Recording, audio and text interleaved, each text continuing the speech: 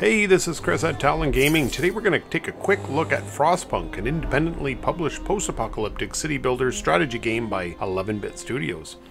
After the world is frozen over, you'll need to govern your settlement, manage hope and discontent, and make very difficult decisions to keep your citizens from certain death, all while developing technologies, searching for survivors, and scavenging for resources.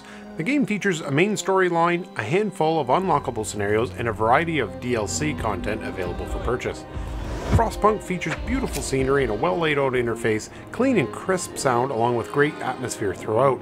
The gameplay is challenging but rewarding and forces you to make life or death decisions and weigh the needs of the few versus the needs of the many. The story itself is pretty interesting and continues to develop as you send scouts out to explore the world around you. I've had a lot of fun so far with Frostpunk and I'm looking forward to digging into the scenarios a little deeper. For fans of strategy gaming, independent games, or just want a new challenge to overcome, this one surely deserves a look. Thanks for watching everyone. Don't forget to like, comment, and consider subscribing for more content just like this. This is Chris from Talon Gaming, signing out.